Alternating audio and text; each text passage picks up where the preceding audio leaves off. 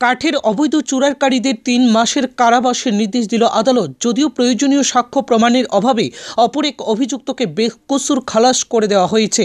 সরকার আইনজীবী অভিজিৎ ভট্টাচার্য জানান দু হাজার বিশ সালের মাঝামাঝি কোনো এক সময়ব্যাপী মোদক ও ভাস্কর রুদ্রপাল নামে দুজন কাঠের অবৈধ চোরাইকারী খোয়াইয়ের ছনকলা থেকে মারে হাদুকপাড়ায় একটি গাড়ি বোঝাই অবৈধ কাঠ নিয়ে যাচ্ছিল। তখনই বিশ্বস্ত সূত্রের প্রাপ্ত খবরের ভিত্তিতে খোয়াই মহকুমা বন দফতরের আধিকারিক অর্জুন দেববর্মার নেতৃত্বে বন দফতরের কর্মীরা ছনকলার কোনো এক স্থান থেকে উৎপেতে বসে থেকে কাঠ বোঝাই গাড়ি আটক করে এবং গাড়িতে থাকা ভাস্কর রুদ্রপাল ও বাপি মোদককে আটক করে।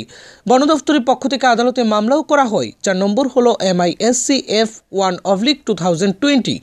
আদালতে মামলার শুনানি শুরু হয়। সাক্ষ্য প্রমাণ শুনানি শেষে বৃহস্পতিবার খোয়াই সিজি এস আদালতের বিচারক ধর্মেন্দু দাস বেআইনিভাবে সেগুন কাঠ পাচারের অভিযোগে অভিযুক্ত চোরাইকারী বাপি মোদককে তিন মাসের কারাদণ্ডে দণ্ডিত করে।